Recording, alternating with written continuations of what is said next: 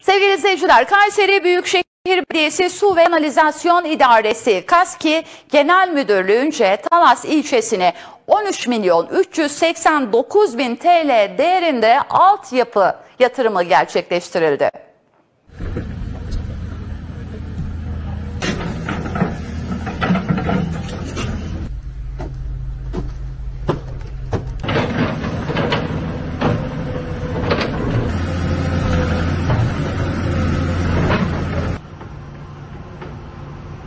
Yenilenmesi gereken, ihtiyaç olan yerlerde yapılması gereken çalışmaları zamanında ve e, vatandaşların konforunu artırma bağlamında yaptıkları çalışmalardan dolayı kendilerine teşekkür ediyorum.